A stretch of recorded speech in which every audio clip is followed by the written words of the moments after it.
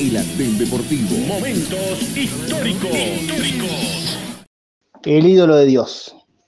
Todos los argentinos tenemos de ídolo a Diego Maradona, pero Diego tenía un ídolo, y ese era Ricardo Enrique Bocini, el nacido en Zárate un 25 de enero del 55, pero enseguida se fue para Avellaneda para transformarse en Diablo.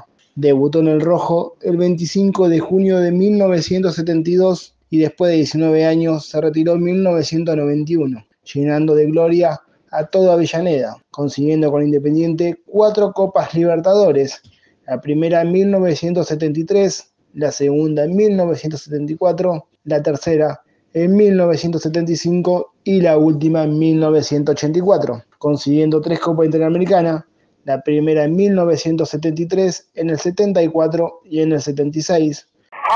Para Bocini, esquiva muy bien al hombre que lo marcaba, se acerca al área, juega para Bertoni,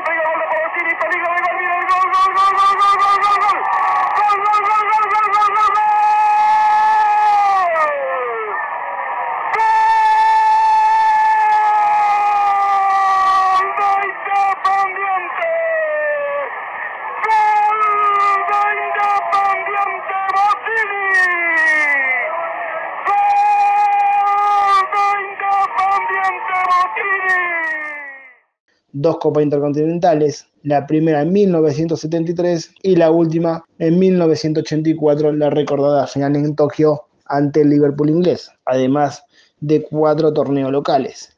En total jugó 714 partidos en Independiente, convirtiendo 108 goles, una marca muy buena para un volante ofensivo.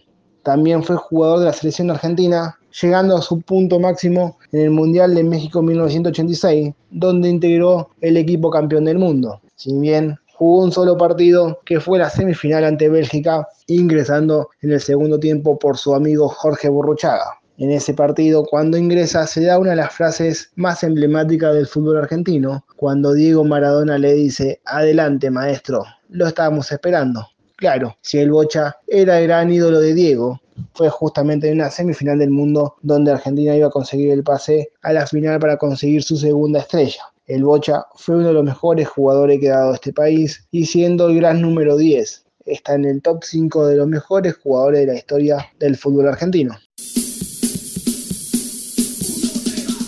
El Andén Deportivo. Momentos históricos.